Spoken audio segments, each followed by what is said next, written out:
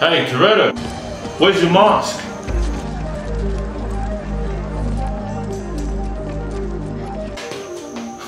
You're under arrest. Arrest? I don't feel like I'm under arrest. How about you, Brian? Nah, not a bit. Not even a little bit. Oh, just give it a minute. It'll sink in. Hey man, under the Privacy Act of 1988. I don't give a shit. I'm here to comply with the system. Yeah. That sounds like a real hero. Yeah, that's funny. From cop to conspiracy theorist. Or some tough guy, woke wannabe, fake ass spiritual bitch.